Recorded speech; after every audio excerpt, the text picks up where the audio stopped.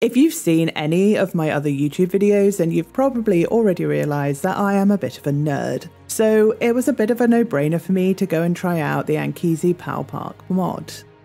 Set in Madagascar, this mod is a single player experience where you learn about paleontology, Malagasy dinosaurs, and the Malagasy people.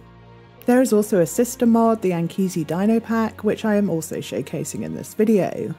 The Dino Pack contains dinosaurs from Madagascar, the Majungasaurus, which I've covered in the video tagged on screen now, the Masiakasaurus, and the Rapetosaurus, but more about them later.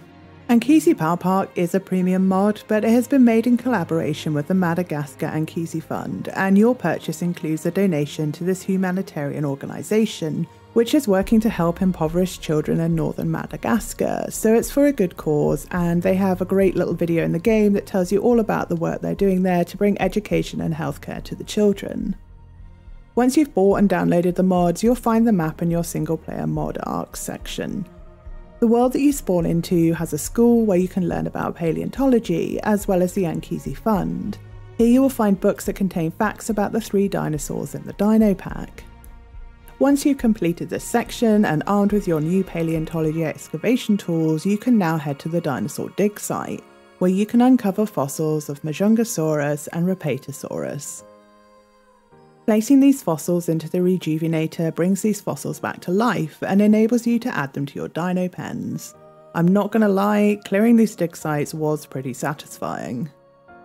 You may have noticed the little panel in the top left and the rather obnoxious banner in the middle at the top, but as you complete the tasks that are listed in the top left, you earn tokens, and you can use these tokens in the shop to buy the cosmetic items.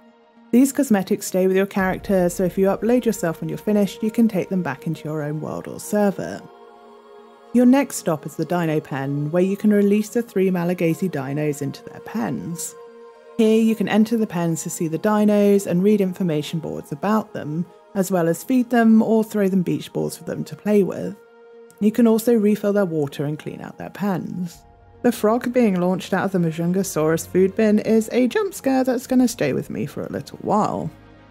So, there are clearly some buggy things going on with this mod. The dinosaur movement, or lack of it, is pretty disappointing, and your character's head being disconnected from your body is slightly disturbing.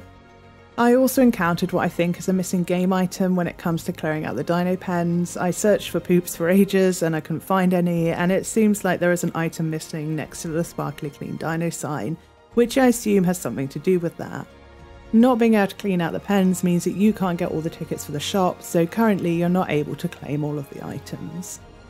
Overall, I think this mod is really cool, and I love it when there's an educational element included in things and this mod contains some really interesting information about Madagascar and some of the dinos that were endemic there.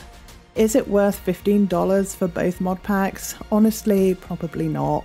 But the contribution to the good cause does help justify that a little. I think if the mod contained the location and the dinos for $10, I, that would feel a lot more reasonable. But if you're curious to find out more about this place and the dinos, then I think it's definitely worth a look.